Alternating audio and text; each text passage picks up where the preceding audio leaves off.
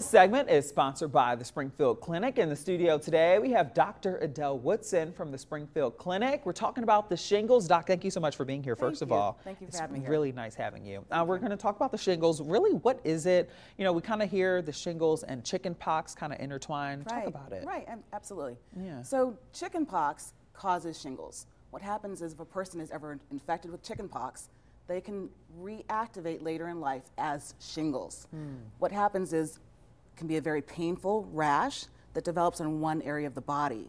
It is not um, something that can be necessarily prevented unless there is a vaccination for the shingles after Hmm. you've had chickenpox. Gotcha. So you can have that in, in your adult life, this vaccine to prevent the Absolutely, absolutely. Okay. In 2017, there was a new shingles vaccination, Shingrix, Okay.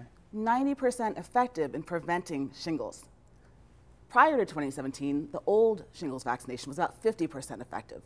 But the new vaccination, 90% effective in preventing an outbreak of shingles. Oh, that's awesome. So, talk a little bit about um, men versus women. What um, kind of person is likely to get it more than the other? Is there a such There's thing as that? No such thing as that.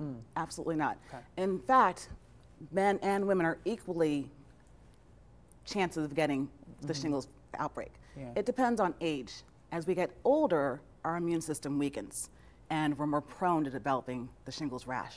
Gotcha. How can somebody prevent it besides the vaccine? I mean, is there anything to do in your day to day?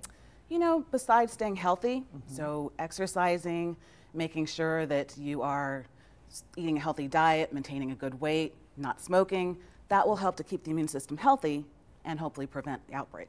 As far as um, the vaccine goes, back to that, what age Yeah. is recommended to get it? Age 50 and over. So anyone age 50 and older can get the vaccination. Even if you've already had the previous shingles vaccination, you can still get the new and improved Shingrix vaccination.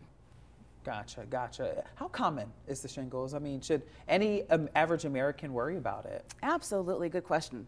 You know, it's about one in three people will break out with shingles in their lifetime if they've had chickenpox. The problem with shingles is that not only is it a painful rash, but it can also develop symptoms afterwards. So, in other words, if a person has an outbreak on their eyes or in their ears, they can develop nerve damage from that.